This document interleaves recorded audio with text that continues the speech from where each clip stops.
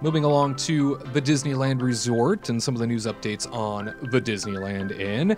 Uh, it does turn out that Disneyland has once again canceled reservations going into uh, October, this time through October the 17th. If you're somebody who was staying at a Disney resort hotel uh, during this time, or you had plans to stay up and through October 17th, that is now officially canceled. I don't think that's a surprise. Certainly, um, week to week, we cover this as information comes out and as uh, the stories sort of are created uh, in that capacity and, and, and we're notified but uh, more reservations have been canceled. At this point, um, I said this with uh, Sabina uh, the last time that we covered this and how it was uh, uh, canceled through.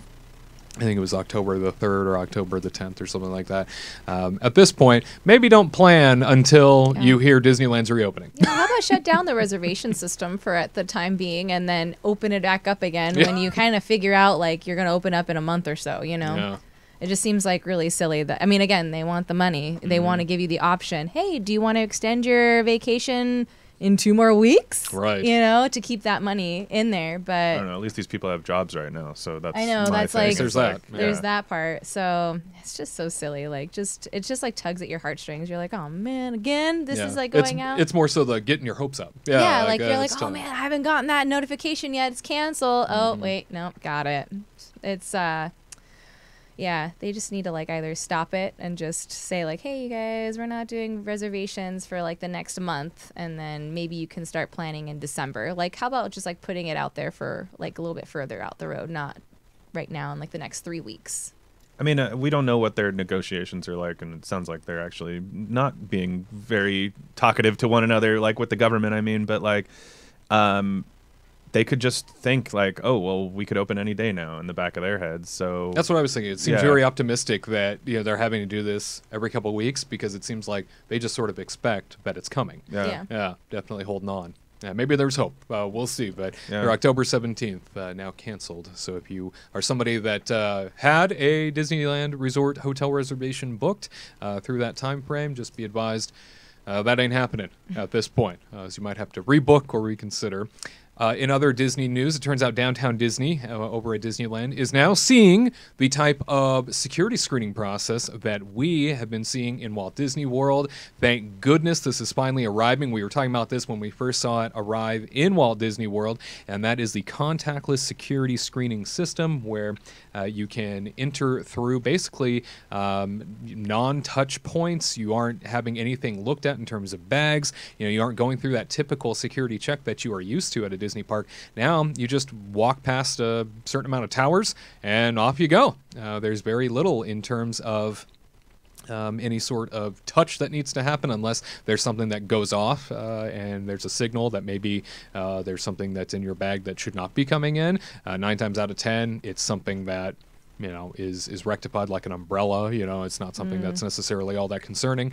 Um, but you see a video if you're watching us uh, playing now that sort of gives you an indication as to uh, just how simple this process is and how it allows people to move right through. No stopping no hesitation no pauses. Um, i have to say when i was out in walt disney world the majority of places majority of public places uh, in and around theme parks have this including uh, some spots in disney springs. This is something that is so nice to have because again you don't have to wait. You just flow on through. And in a time right now where social distancing is everything people are concerned about that six foot rule um, it is nice to not have to worry about coming to a screeching halt at a security tent and everybody being under one tent together and trying their best to get things figured out. Because those security screenings take a lot of time based on yeah. where you're at. Like Florida was like uh, like I would always just make sure I don't have a bag at all when we go to Florida because I don't want to wait in the heat in the line for like 20 minutes while people have like a bagception going on and pulling out bags on bags on bags and I'm like, "Oh my gosh, like can we just go? Like all I have is this like little wristlet."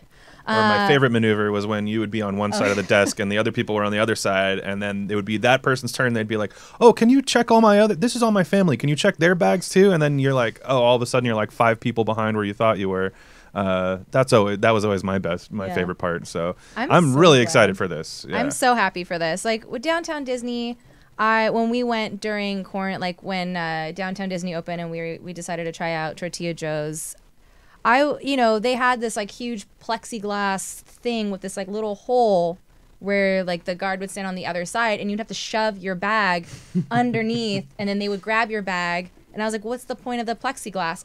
And then they would just like look through my bag and then shove it back. And I'm like, oh my God, like, uh, you're going to like rip my leather bag. And, and again, like I have a Disney Dooney and Bourke bag and I love it to death. And yeah, it's a little big and everybody knows how expensive Dooney and Bourke bags are. And I'm like, are, you're going to sh- just psh, shove it through that little hole. Security's more important. And I was like, ah! And so I'm so glad this is happening because I, I, I feel like it was needed, but I still feel bad for these like security guards that Sure. now have, are replaced with electronic device. Yeah. But uh, I'm happy that we don't have to like wait in a long line and and I hope it works. Um, I bet when you went through, you felt like a little weird doing it. You're just like, wait, where is why? Is, Yeah. what's happening? I feel, I feel like the first time I go through, I'm gonna be like, "Am I doing it right?" I'm What? gonna, like I- walk really slow. That's how I did it. Yeah. I mean, and I was staring at the security people the whole time, like, are you gonna yell at me for something? Like, do I? Yeah. Is this correct? and they're like, "Come on, hurry up! What are you doing?"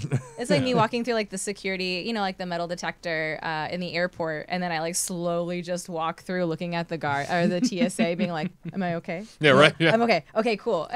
Making them more suspicious of you right? every they're moment. like, yeah. Should should it go off? What is she doing? Yeah, yeah, she's up to something. So I'm glad this is happening. It's nice to finally see it. Yeah, Yeah. and uh, let's make sure that they get installed at all the checkpoints uh, in and around Disneyland, so that uh, nobody has to wait anymore. You can just flow on through. Yeah. Yeah, and I know it might not be as you know normal for a little bit, but like think of those lines from Harbor in the morning, like how Yeah. long they would get, like mm. all the way back to the front of Disneyland, like where the Disneyland property started. I mean, Oh my gosh, Tyler, it took me 40 minutes to get to you one morning. yeah. yeah. You know, just through that security tent on Harbor side. Um, and, and, and I thought I'd have plenty of time, you know, and uh, nope, not at all. Yeah. You know, it took forever because every single nook and cranny needed to be looked at in terms of bags. And Yeah. yeah, what a mess. we we would sometimes stay at the Residence Inn Marriott, which is right by the convention center, and in, and the closest entrance was that Harbor entrance, Mm-hmm. and we would walk all the way around to go to downtown Disney, and then walk through downtown Disney to get into the parks. Wow. Because we It's knew nice it would take walk. less time than it would to go through the Harbor line. So thank thank goodness this is happening. Yeah, it's about darn time, that's for sure.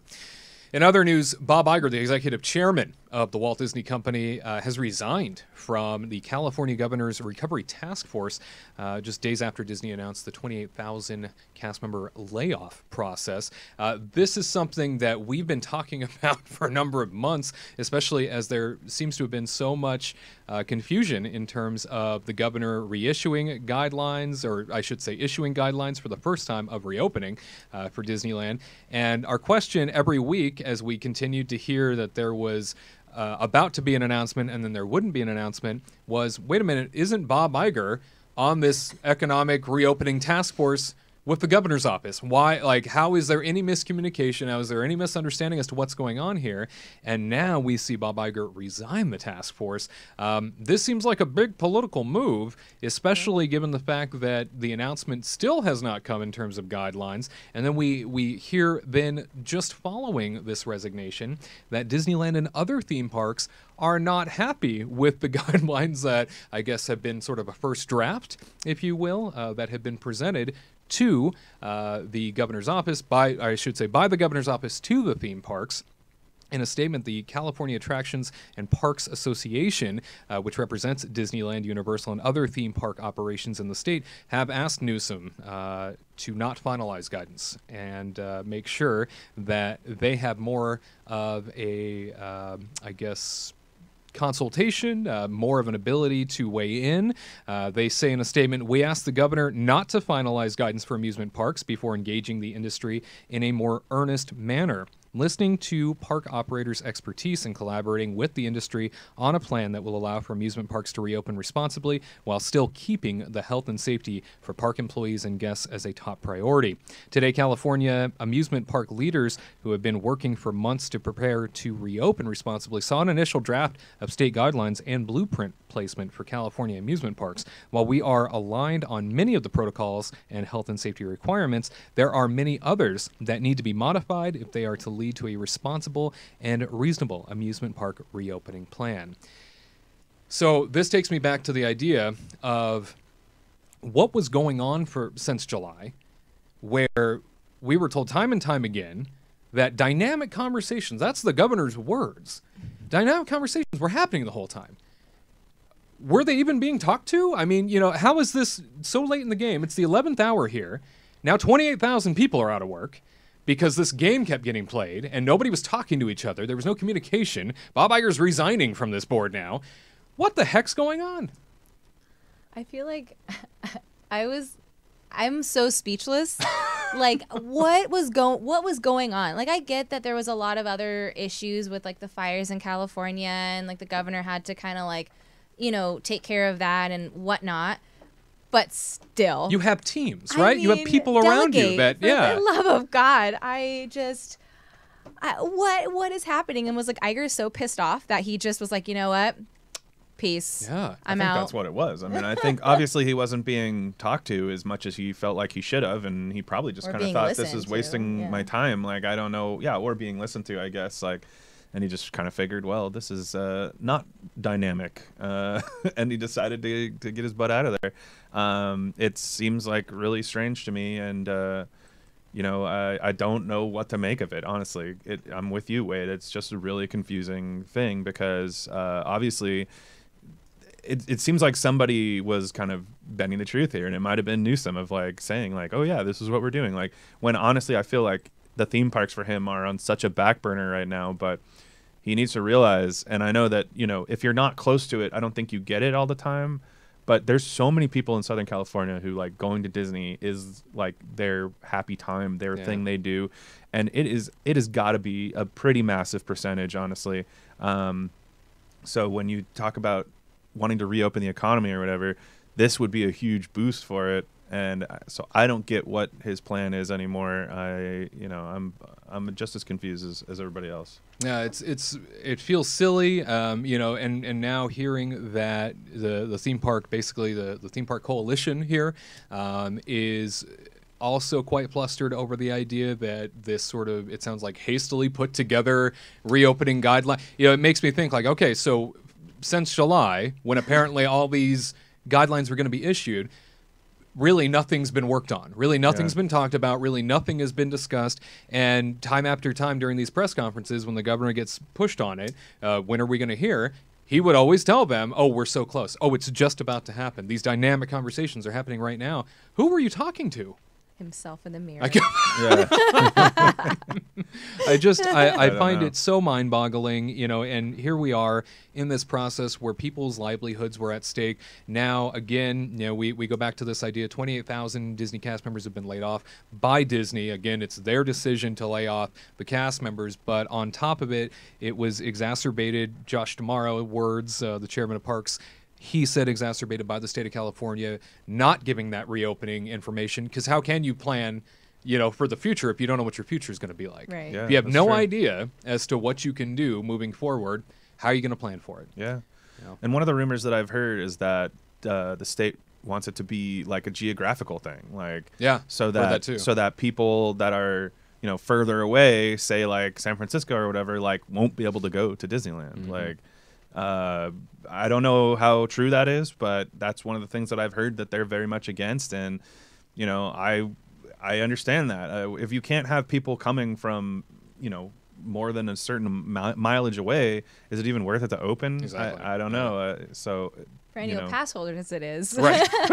For like all those people that go on the Friday nights, they have Mm-hmm. nothing else to do. Might as well go hang out or whatever. But you know, they need they need it within like a couple like you know like a little tri-state area kind of thing. You know, Right. like having a little bit of you know Oregon, California. Because I get it, they don't want a lot of people flying in. They don't want a lot of like contamination, like spreading. Because like California could barely handle getting down the coronavirus right now. So I get it but at the same time it's just like you're you're ruining a lot of people's livelihoods Yeah. here so either give them the guidelines let them figure it out you guys hash it out back and forth since june and we could have already been like somewhere in like an opening stage Mm-hmm. but Well, I think about what Tyler said earlier today, and that is at least give them a chance. yeah You know, if things don't pan out, okay, then let's revisit it and pull back and do whatever we need to do.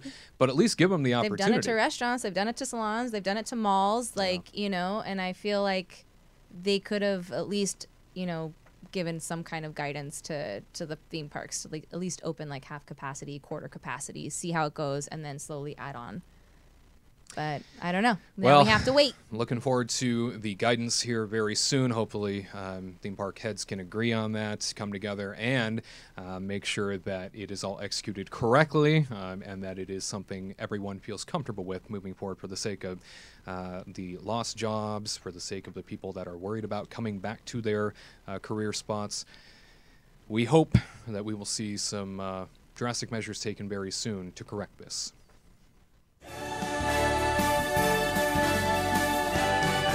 Come to this happy place, welcome.